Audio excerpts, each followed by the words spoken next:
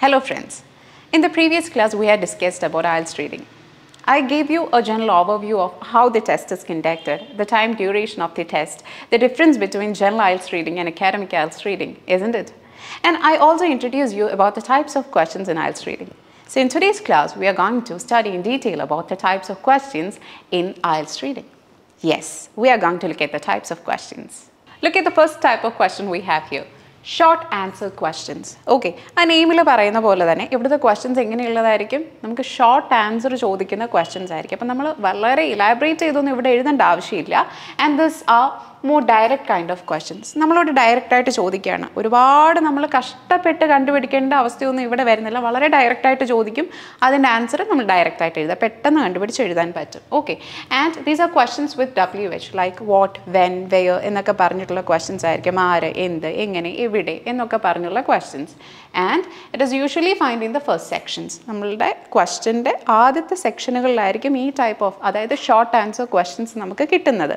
And I have an example with me see ഇവിടെ നമ്മളോട് ആദ്യം ഒരു ക്വസ്റ്റ്യൻ ഫുള്ള് നമ്മൾ വായിച്ച് നോക്കുന്നതിന് മുന്നേ നമുക്കിപ്പോൾ ഒരു പാസേജ് കിട്ടുന്നു. നമ്മൾ ഡയറക്റ്റ് ഈ ക്വസ്റ്റ്യൻസിലോട്ട് വരുന്നതിന് മുന്നേ എന്ത് ചെയ്യണം? ആ മെയിൻ ക്വസ്റ്റ്യൻ എന്താണെന്നുള്ളത് നോക്കണം. ഇവിടെ നമുക്ക് എന്ത് പറയുന്നുണ്ട്? വേർഡ് കൗണ്ട് പറയുന്നുണ്ട്. അല്ലെങ്കിൽ എത്ര വേർഡ്സിൽ നമ്പേഴ്സിൽ നമ്മൾ ആൻസർ ചെയ്യണം. ഷോർട്ട് ആൻസേഴ്സ് അല്ലേ? നമുക്ക് ലെങ്തി സെന്റൻസുകളൊന്നും ഇവിടെ വേണ്ടല്ലോ. അപ്പോൾ ഇവിടെ എന്ത് പറയുന്നുണ്ട്? No more than three words or a number മൂന്ന് വേർഡ്സ് അല്ലെങ്കിൽ ഒരു നമ്പറിൽ കൂടുതലൊന്നും നമ്മൾ ആൻസർ ആയിട്ട് എഴുതാൻ പാടില്ല. അപ്പോൾ ഇത് നമ്മൾ ശ്രദ്ധിക്കാതെയാണ് ക്വസ്റ്റ്യനിലോട്ട് പോകുന്നതെങ്കിലോ നമുക്ക് മാർക്സ് പോകും അപ്പോൾ ഇത് ആദ്യത്തെ വൺ ടു ഫോർ ക്വസ്റ്റ്യൻസ് ആണ്. സി ഇതെല്ലാം നമുക്കൊരു പാസേജ് കഴിഞ്ഞിട്ട് വരുന്നതാണ്. ഒരു പാസേജ് നമ്മൾ വായിക്കുന്നു. അതിനുശേഷം അറ്റൻഡ് ചെയ്യുന്ന ക്വസ്റ്റ്യൻസ് ആണിത്. അപ്പോൾ ഇവിടെ ത്രീ വേർഡ്സ് അല്ലെങ്കിൽ ഒരു നമ്പർ അതിൽ കൂടുതൽ നമുക്ക് ആൻസർ ആവാൻ പാടില്ല. എന്നിട്ടാണ് നമ്മൾ ഓരോ ക്വസ്റ്റ്യൻസ് വായിച്ച് ഇപ്പോൾ വൺ ടു ഫോർ നമ്മൾ ലാസ്റ്റ് ക്ലാസ്സിൽ ആൻസർ ഷീറ്റിന്റെ ഒരു മോഡൽ കാണിച്ചിരുന്നു. അതിനകത്ത് വൺ ടു ഫോർ വരെയുള്ള ക്വസ്റ്റ്യന്റെ ആൻസർ ആണ് ഇത് വായിച്ചിട്ട് നമ്മൾ എഴുതേണ്ടത്. ഓക്കെ അപ്പം നാട്ടെ കണ്ടില്ലേ? What is the African rhinoceros compare to which type ആണ്? What see W H questions വരുന്നതാണ് ഇവിടെ. ആറ് എന്ത് എങ്ങനെ അങ്ങനെയുള്ള ക്വസ്റ്റ്യൻസ് അപ്പോൾ നമ്മൾ അതിന്റെ ആൻസർ പ്രോപ്പറായിട്ട് പാസേജ് വായിക്കുക. എത്ര വേർഡ് കൗണ്ട് അവർ ചോദിക്കുന്നു? അതിൽ ആൻസേഴ്സ് എഴുതുക. The second type of question is multiple choice question see this നമ്മൾ സ്കൂളിലൊക്കെ പഠിക്കുന്ന എം സി ക്യൂസ് അതായത് നമുക്ക് ഒരു ക്വസ്റ്റ്യൻ കാണും കുറച്ച് ഓപ്ഷൻസ് അത് റിലേറ്റ് ആയിട്ട് കാണും. സോ ഇവിടെ answer to be chosen from four options provided ഇവിടെ എത്ര ഓപ്ഷൻസ് നമുക്ക് കാണും? നാല് ഓപ്ഷൻസ് ആയിരിക്കും ഉണ്ടായിരിക്കുന്നത്. And it usually comes in the order അതായത് പാസേജിൽ എങ്ങനെയാണോ ആ ഒരു ലോജിക്കൽ സീക്വൻസ് വരുന്നത് അതേ ഓർഡറിൽ തന്നെയാണ് ക്വസ്റ്റ്യൻസ് വരാനുള്ള ചാൻസും അതിന്റെ ഒരു മോഡലാണ് നമുക്കിവിടെ എക്സാമ്പിളായിട്ട് കൊടുത്തിരിക്കുന്നത്. കണ്ടില്ലേ? ഇവിടെ നമുക്ക് ഒരു ക്വസ്റ്റ്യൻ ചോദിച്ചിട്ടുണ്ട്. എത്ര ഓപ്ഷൻസ് ഉണ്ട്? ഫോർ ഓപ്ഷൻസ് ഉണ്ട്. എ ബി സി ഡി ഇനി അത് ഏത് ക്വസ്റ്റ്യൻ ആണോ പറയുന്നത് അതിൽ പ്രോപ്പറായിട്ട് അതിന്റെ ആൻസേഴ്സ് എഴുതി പോവുക. അപ്പോൾ ഇങ്ങനെ ക്വസ്റ്റ്യൻസ് വരും. അതിന് ഓപ്ഷൻസ് കാണും. നമ്മൾ അതിൽ നിന്ന് കറക്റ്റ് ആൻസർ ചൂസ് ചെയ്ത് എഴുതുക. ചിലപ്പോൾ കൺഫ്യൂസിങ് ആയിരിക്കും ഓപ്ഷൻസ് അപ്പോൾ നമ്മൾ എലിമിനേഷനൊക്കെ യൂസ് ചെയ്ത് വേണം ഇവിടെ ആൻസർ കണ്ടുപിടിക്കാൻ. ഒരുപാട് സ്ട്രാറ്റജീസ് ഉണ്ട്. ബട്ട് ഈ ക്വസ്റ്റൻ ഒന്ന് ഇൻട്രൊഡ്യൂസ് ചെയ്യുകയാണ് നമ്മളിപ്പോൾ the third type of question we have as summary completion അതായത് നമ്മളൊരു പാസേജ് വായിച്ചു കഴിഞ്ഞിട്ട് അതിന്റെ ഒരു സമ്മറി പോലെ ആയിരിക്കും നമുക്ക് ക്വസ്റ്റൻസ് വരുന്നത്. അപ്പോൾ നമ്മൾ ഇവിടെ യൂസ് ചെയ്യേണ്ടത് എന്താണെന്ന് വെച്ചാൽ we should be able to identify paraphrases and synonyms അതായത് ആക്ച്വൽ വേർഡ്സോ ഒന്നുമല്ല പാസേജ് അതുപോലെ എടുത്ത് വെക്കല്ല. അതിന്റെ ഒരു ഐഡിയ ആണ് നമുക്ക് കിട്ടുന്നത്. അപ്പോൾ അത് റിലേറ്റ് ചെയ്തിട്ടുള്ള മീനിങ്സ് കുറച്ച് ഓപ്ഷൻസ് നമുക്ക് തന്നാൽ അതിൽ നിന്ന് നമ്മൾ മനസ്സിലാക്കി എടുക്കാൻ പറ്റണം. അപ്പോൾ അതിന്റെ അർത്ഥം പൂർണമായിട്ട് മനസ്സിലാക്കിയാൽ മാത്രമേ ഈ ടൈപ്പ് ഓഫ് ക്വസ്റ്റ്യൻ നമുക്ക് അറ്റൻഡ് ചെയ്യാൻ പറ്റത്തുള്ളൂ okay and the grammar is also to be checked നമ്മൾ ഗ്രാമർ മിസ്റ്റേക്സ് വരുത്താതെയും ഇവിടെ ശ്രദ്ധിക്കണം. അപ്പോൾ നമുക്ക് ക്വസ്റ്റ്യൻ നോക്കാം. See this the importance of language എന്ന് പറയുന്ന ഒരു പാസേജിന്റെ സമ്മറി പോലെയാണ് നമുക്കിവിടെ കൊടുത്തിരിക്കുന്നത്. അപ്പോൾ ആ സെയിം ലൈൻസ് ഒന്നും അല്ല പക്ഷേ ഐഡിയ കൊടുത്തിരിക്കുന്നത്. പാസേജിന്റെ ഐഡിയ നമുക്ക് പ്രോപ്പറായിട്ട് മനസ്സിലായാൽ മാത്രമേ എന്ത് ചെയ്യാൻ പറ്റത്തുള്ളൂ? തന്നിരിക്കുന്ന ഓപ്ഷൻസ് നിന്ന് എന്ത് ചെയ്യാൻ പറ്റൂ? ആൻസേഴ്സ് എടുത്ത് ഈ ബ്ലാങ്ക്സ് ഫില്ല് ചെയ്യാൻ പറ്റൂ. മാച്ചിങ് എൻഡ്സ് ഓഫ് സെന്റൻസസ് ഇവിടെ നമുക്കൊരു സെന്റൻസിന്റെ ബിഗിനിങ് അല്ലെങ്കിൽ എൻഡാണ് ക്വസ്റ്റൻ ആയിട്ട് വരുന്നത്.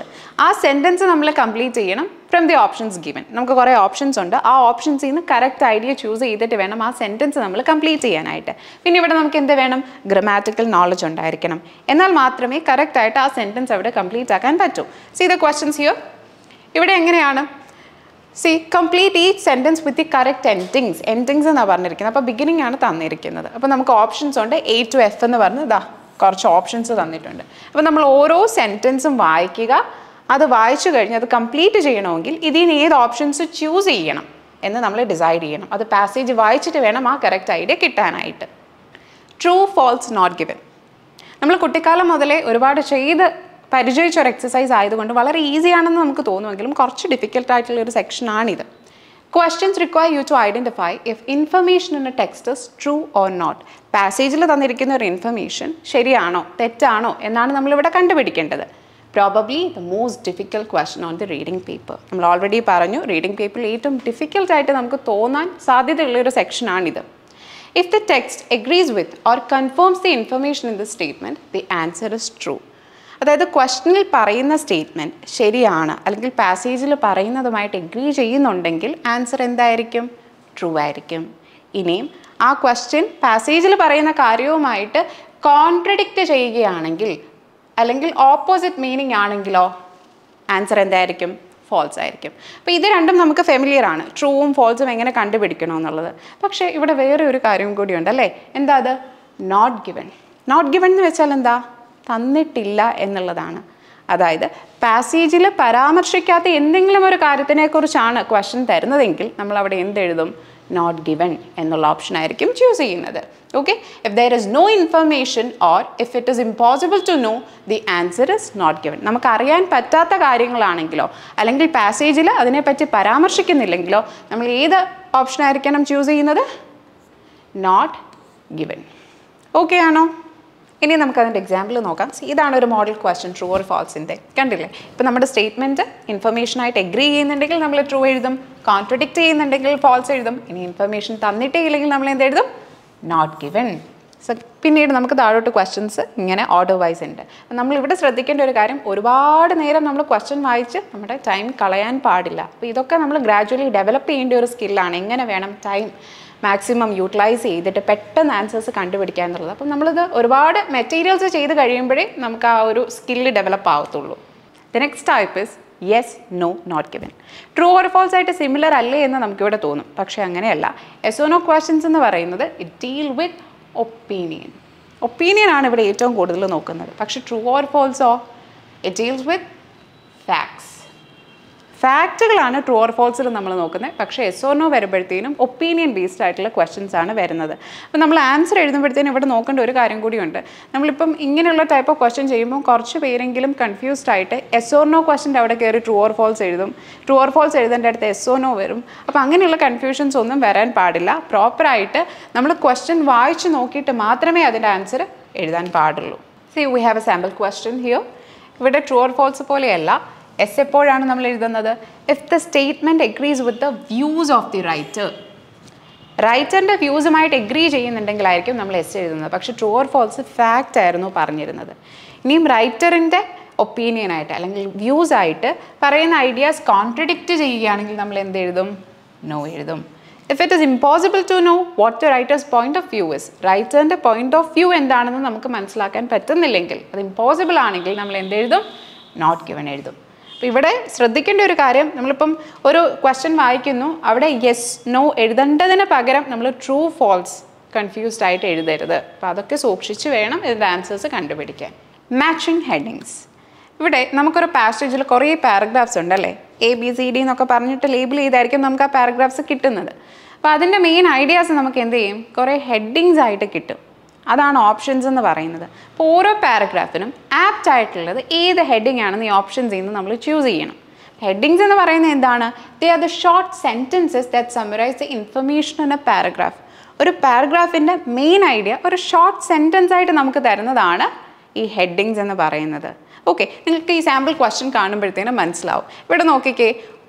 Choose the correct heading for sections A to D and F from the list of headings below അപ്പോൾ ഇവിടെ നമുക്ക് ലിസ്റ്റ് ഓഫ് ഹെഡിങ്സ് കൊടുത്തിട്ടുണ്ട്.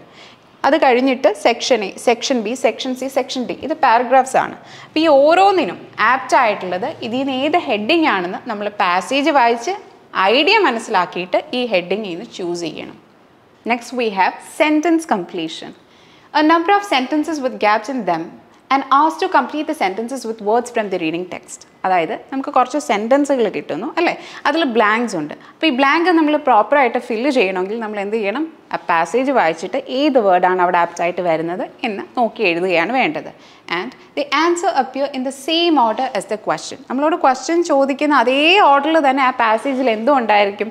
ആൻസർ ഉണ്ടായിരിക്കും. അതായത് ഫസ്റ്റ് ക്വസ്റ്റ്യന്റെ ആൻസർ കഴിഞ്ഞിട്ടായിരിക്കും സെക്കൻഡ് ക്വസ്റ്റ്യന്റെ ആൻസർ കിടക്കുന്നത്. അപ്പോൾ ആ ലോജിക്കൽ സീക്വൻസ് ആ ഒരു ഓർഡർ അതുപോലെ തന്നെ ഇവിടെ ഉണ്ടായിരിക്കും. Answer should be grammatically correct അപ്പോൾ നമ്മളൊരു ആൻസർ എടുത്ത് എഴുതുമ്പോഴത്തേനും ഇപ്പോൾ പ്രിപ്പോസിഷൻസ് ഒക്കെ വരുമ്പോഴത്തേനാണ് ഏറ്റവും കൂടുതൽ കൺഫ്യൂഷൻ വരുന്നത്. അപ്പോൾ ആ ഒരു അർത്ഥത്തിൽ വ്യത്യാസം ഉണ്ടാവാതെ തന്നെ നമ്മൾ ആ പാരഗ്രാഫിൽ നിന്ന് ആൻസർ കണ്ടുപിടിച്ച് എഴുതണം. ചെക്ക് യുവർ സ്പെല്ലിംഗ് നമ്മൾ ഇവിടെ നിന്നല്ല എവിടെയാണെങ്കിലും നമുക്ക് വേർഡ്സ് ഒക്കെ എഴുതേണ്ടി വരുന്നിടത്ത് നമ്മുടെ സ്പെല്ലിംഗ് മിസ്റ്റേക്ക് വരാണ്ട് നോക്കണം. നമുക്ക് അങ്ങനെ മാർക്സ് പോകാൻ പാടില്ല. Look at sample question again ഇവിടെ കണ്ടില്ലേ? കംപ്ലീറ്റ് ദ സെന്റൻസസ് ബിലോ ഇവിടെ എന്താണ്? നമുക്ക് ഓരോ സെന്റൻസുകൾ തന്നിരിക്കുകയാണ്. നമ്മൾ ഈ ഗ്യാപ്സ് അല്ലെങ്കിൽ ബ്ലാങ്ക്സ് എന്ന് പറഞ്ഞ് ദാ ഇങ്ങനെ കൊടുത്തിരിക്കുക. പാരഗ്രാഫിൽ എങ്ങനെയായിരുന്നോ ആ ആൻസേഴ്സ് പോകുന്നത്? ആ ഒരു ഐഡിയ പോയിരിക്കുന്നത്? അതുപോലെയാണ് ഇവിടെ ക്വസ്റ്റ്യൻസ് ചോദിച്ചിരിക്കുന്നത്. നമ്മൾ പാസേജ് വായിക്കുക കറക്റ്റ് ആയിട്ടുള്ള വേർഡ്സ് വെച്ചിട്ട് ഈ സെന്റൻസുകൾ ഫില്ല് ചെയ്യുക. അതാണ് സെന്റൻസ് കംപ്ലീഷൻ എന്ന് പറയുന്നത്. ഓക്കെ ഇനി ഇവിടെ എന്ത് കൊടുത്തിട്ടുണ്ട്? വേർഡ് ലിമിറ്റ് കൊടുത്തിട്ടുണ്ട്. No more than two words അപ്പോൾ നമുക്ക് വായിച്ചിട്ട് കൺഫ്യൂസ്ഡ് ആയിട്ട് ഒരുപാട് വേർഡ്സ് എഴുതാൻ പാടുണ്ടോ? ഇല്ല. അപ്പോൾ ഇതൊക്കെ ശ്രദ്ധിച്ചിട്ട് വേണം ഈ സെന്റൻസുകൾ കംപ്ലീറ്റ് ചെയ്യാനായിട്ട്. Next we have completing flow charts diagrams or maps okay here നമുക്ക് എന്താണ്? ഒരു ഡയഗ്രാമോ ഒരു ഫ്ലോ ചാർട്ടോ മാപ്പോ ഒക്കെ ആയിരിക്കും കിട്ടുന്നത്. And not a test of your technical knowledge but a test of your reading skills നമ്മുടെ ടെക്നിക്കൽ നോളജ് ഒന്നും അല്ല ഇവിടെ ടെസ്റ്റ് ചെയ്യുന്നത്. പക്ഷേ നമ്മുടെ റീഡിംഗ് സ്കിൽ അതായത് നമ്മളൊരു പാസേജ് വായിച്ചിട്ട് അത് പ്രോപ്പറായിട്ടൊരു മാപ്പിലോ ഡയഗ്രത്തിലോ ഒക്കെ നമുക്ക് ലേബിൾ ചെയ്യാൻ പറ്റുന്നുണ്ടോ എന്നുള്ളതാണ് അവിടെ നോക്കുന്നത്. And the answers do not always come in the same order as in the paragraph പാരഗ്രാഫിലുള്ള same ഓർഡറിൽ തന്നെയായിരിക്കണം ഇവിടെ ക്വസ്റ്റൻസ് ചോദിക്കുന്നത് എന്നൊന്നുമില്ല. ആൻഡ് ചെക്ക് യുവർ സ്പെല്ലിംഗ് ഇത് എപ്പോഴും ശ്രദ്ധിക്കണം. നമ്മൾ സ്പെല്ലിംഗ് കറക്റ്റായിട്ട് എഴുതുക എന്നുള്ളത് നമ്മൾ എപ്പോഴും ശ്രദ്ധിക്കേണ്ട ഒരു കാര്യമാണ്. അപ്പോൾ ഈ ഡയഗ്രംസ് മാപ്സ് ഒക്കെ വരുമ്പോഴത്തേനും നമ്മൾ ആ എടുത്തെഴുതുമ്പോൾ അത് തെറ്റാൻ പാടില്ല. നമ്മളിപ്പോൾ പഠിച്ച ഫ്ലോ ചാർട്ട് ഡയഗ്രംസ് ആൻഡ് മാപ്സിന്റെ എക്സാമ്പിളാണ് ഈ കൊടുത്തിരിക്കുന്നത്. അപ്പോൾ ഈ ബോർഡിൽ നോക്കുമ്പോൾ നിങ്ങൾക്ക് അത് ക്ലിയർ ആയിട്ട് മനസ്സിലാവും. ഇങ്ങനെയാണ് അതിന്റെ ക്വസ്റ്റ്യൻസ് വരുന്നത്. അപ്പം നമ്മൾ പറഞ്ഞു ആ ലോജിക്കൽ സീക്വൻസോ ഓർഡർ അനുസരിച്ചൊന്നും ഇവിടെ വരണമെന്ന് നിർബന്ധമില്ല. സി നമ്മൾ ക്വസ്റ്റ്യൻ നമ്പർ പ്രോപ്പറായിട്ട് ഫോളോ ചെയ്ത് പാരഗ്രാഫിൽ നിന്ന് ആൻസർ കണ്ടുപിടിച്ച് എഴുതുക. കണ്ടില്ലേ? മാപ്സും ഒക്കെ വരാം. മാച്ചിങ് ഇൻഫർമേഷൻ ടു പാരഗ്രാഫ്സ് അപ്പോൾ ഇവിടെ നമുക്ക് ക്വസ്റ്റ്യൻ എന്തായിരിക്കും? ഒരു ഐഡിയ ഒരു ഇൻഫർമേഷൻ എന്തെങ്കിലും ആയിരിക്കാം പാരഗ്രാഫിനെ ബേസ് ചെയ്തിട്ടുള്ളത്. അത് ഏത് പാരഗ്രാഫിലാണ് ആ ഐഡിയ പറയുന്നത് എന്നാണ് നമ്മളിവിടെ കണ്ടുപിടിക്കേണ്ടത്. Okay so match statements to paragraphs in the reading text reading ടെക്സ്റ്റിലെ ഏത് പാരഗ്രാഫുമായിട്ടാണ് നമുക്ക് തന്നിരിക്കുന്ന ഇൻഫർമേഷൻ അല്ലെങ്കിൽ ഐഡിയ മാച്ച് ആവുന്നതെന്നാണ് നമ്മൾ കണ്ടുപിടിക്കേണ്ടത്. The statements could be reasons descriptions summaries definitions facts or explanations അതായത് നമുക്ക് തന്നിരിക്കുന്ന സ്റ്റേറ്റ്മെന്റ് ക്വസ്റ്റനിലുള്ള സ്റ്റേറ്റ്മെന്റ് എന്തൊക്കെ ആയിരിക്കാം? ചിലപ്പോൾ എന്തെങ്കിലും ഒരു റീസൺ ആയിരിക്കാം ഒരു ഡിസ്ക്രിപ്ഷൻ ആയിരിക്കാം ഒരു സമ്മറി ആയിരിക്കാം ഡെഫിനിഷൻ ആയിരിക്കാം ഫാക്റ്റ് ആയിരിക്കാം എക്സ്പ്ലനേഷൻ ആയിരിക്കാം എന്ത് തന്നെ ആയാലും അത് ഏത് പാരഗ്രാഫിലാണ് മെൻഷൻ ചെയ്യുന്നത് എന്ന് നമ്മളിവിടെ കണ്ടുപിടിക്കണം. Okay and find specific information in the paragraph and match it to one of the statements അപ്പോൾ ഏത് സ്റ്റേറ്റ്മെന്റും ആയിട്ടാണ് നമ്മളത് മാച്ച് ചെയ്യേണ്ടത്? ഏത് ഇൻഫർമേഷനാണ് കറക്റ്റായിട്ട് മാച്ച് ചെയ്യേണ്ടതെന്ന് ഇവിടെ ശ്രദ്ധിക്കുക. The answer will be a whole phrase or sentence rather than a single word ഇപ്പോൾ ചിലപ്പോൾ സ്റ്റേറ്റ്മെന്റിൽ പറഞ്ഞിരിക്കുന്ന ഐഡിയ എന്നൊക്കെ പറയുന്നത് ഒന്നെങ്കിൽ എന്തായിരിക്കാം? ഒരു ഫ്രേസ് ആയിരിക്കാം അല്ലെങ്കിൽ ഒരു സെന്റൻസ് ആയിരിക്കാം. എപ്പോഴും ഒരു സിംഗിൾ വേർഡ് തന്നെ ആയിരിക്കണം എന്നൊന്നുമില്ല. അതായത് ഒരു പാരഗ്രാഫിലോ ഒരു സിംഗിൾ വേർഡോ ഒരു ഫ്രേസോ ഒരു ഐഡിയോ എന്ത് തന്നെ ആവാം. അത് നമ്മൾ കറക്റ്റായിട്ട് മാച്ച് ചെയ്ത് എഴുതുകയാണ് വേണ്ടത്. നമുക്ക് സാമ്പിൾ ക്വസ്റ്റ്യൻ നോക്കാം. ഓക്കെ ലുക്ക് ഇത് example write the correct letter A to I in boxes one two three on your answer sheet അപ്പോൾ ഇവിടെ മൂന്ന് ക്വസ്റ്റ്യൻ തന്നിട്ടുണ്ട്. എത്ര പാരഗ്രാഫ്സ് ഉണ്ടെന്നാണ് പറയുന്നത്? എ ടു ഐ അപ്പോൾ നമുക്ക് ഓരോ പാരഗ്രാഫ്സിന്റെയും heading A B C D എന്ന് പറഞ്ഞിട്ടുണ്ട്. അപ്പോൾ ഈ ഐഡിയാസ് ഏത് പാരഗ്രാഫുമായിട്ടാണ് മാച്ച് ചെയ്യുന്നത് എന്ന് നമ്മൾ കണ്ടുപിടിക്കുക. ആ പാരഗ്രാഫ് ഏതാണോ അത് നമ്മൾ അവിടെ എഴുതി വെക്കുക. അതാണ് ഇവിടെ ചെയ്യുന്നത്. That is our matching information to paragraphs so next we have matching people questions matching people ക്വസ്റ്റിനകത്ത് നമ്മളൊരു പാസേജിൽ ചിലപ്പോൾ ആരെങ്കിലും പറഞ്ഞ ഒരു ഒപ്പീനിയൻ ചിലപ്പോൾ ഏതെങ്കിലും സയന്റിസ്റ്റോ റിസർച്ചേഴ്സോ ഒക്കെ പറഞ്ഞതായിരിക്കാം. അല്ലെങ്കിൽ ഏതെങ്കിലും ഒരു ഗ്രൂപ്പ് ഓഫ് പീപ്പിളിനെ പറ്റിയിട്ടായിരിക്കാം. അപ്പോൾ ഇങ്ങനെയുള്ള തിയറീസ് ഐഡിയാസ് ഒക്കെ ആര് പറഞ്ഞു? അല്ലെങ്കിൽ ഏത് വ്യക്തി പറഞ്ഞു? ഒരു വ്യക്തി തന്നെ ഒന്നിൽ കൂടുതൽ ഐഡിയാസ് ചിലപ്പോൾ പറഞ്ഞിട്ടുണ്ടാവാം. ചിലപ്പോൾ നമുക്ക് ക്വസ്റ്റനിൽ തന്നത് ആരും പറഞ്ഞിട്ടുണ്ടായിരിക്കില്ല. അപ്പോൾ അങ്ങനെയൊക്കെ കറക്റ്റായിട്ട് നമ്മൾ കണ്ടുപിടിക്കുക. ആരുടെ ഒപ്പീനിയൻ ആണ്? അല്ലെങ്കിൽ ആരുടെ തിയറിയാണ് എന്നൊക്കെ കണ്ടുപിടിച്ചിട്ട് എഴുതുന്നതിനാണ് മാച്ചിങ് പീപ്പിൾ ക്വസ്റ്റ്യൻസ് എന്ന് പറയുന്നത്. മാച്ചിങ് പീപ്പിൾ ക്വസ്റ്റന്റെ ഒരു എക്സാമ്പിളാണിത് എപ്പോഴും നമ്മൾ ആരുടെയെങ്കിലും ഒപ്പീനിയൻ വേണമെന്ന് നിർബന്ധമില്ല. ഇവിടെ നോക്കിക്കേ. ഇവിടെ നമുക്ക് ഓരോ ഫീച്ചേഴ്സ് തന്നിരിക്കുകയാണ് അല്ലേ? ഓരോ എക്സാമ്പിൾസ് ആണ്. ലൈക്ക് ബ്ലാക്ക് പൗഡർ യൂസ് ചെയ്ത ആരാണ്? റോക്കറ്റ് പ്രൊപ്പൽ ഡാരോസ് ഫൈറ്റിങ്ങിന് വേണ്ടിയിട്ട് യൂസ് ചെയ്ത ആരാണ്? അപ്പോൾ ഇതിൽ ഏത് ഗ്രൂപ്പ് ഓഫ് പീപ്പിളാണ് ഇതൊക്കെ യൂസ് ചെയ്തതെന്നാണ്. അതും മാച്ചിങ് പീപ്പിൾ ക്വസ്റ്റൻ തന്നെയല്ലേ വരുന്നത് അപ്പോൾ നമുക്ക് ചൈനീസ് ഇന്ത്യൻസ് ബ്രിട്ടീഷ് എന്നൊക്കെ പറഞ്ഞ് കുറച്ച് ഓപ്ഷൻസ് തന്നിട്ടുണ്ട്. അപ്പോൾ ഇതാരാണ് ഇതൊക്കെ യൂസ് ചെയ്തതെന്ന് കണ്ടുപിടിച്ചെഴുതുക അപ്പോൾ ഓരോ പാസേജിലും അത് ഡിഫർ ചെയ്യുന്നുണ്ട്. അപ്പോൾ മാച്ചിങ് പീപ്പിൾ ക്വസ്റ്റൻസ് എന്ന് പറയുമ്പം എപ്പോഴും മസ്റ്റായിട്ട് തന്നെ ആരെങ്കിലും ഒപ്പീനിയനും തിയറിയും ഒക്കെ വരണമെന്ന് നിർബന്ധമില്ല. ഇങ്ങനത്തെയും ക്വസ്റ്റൻസ് വരാം.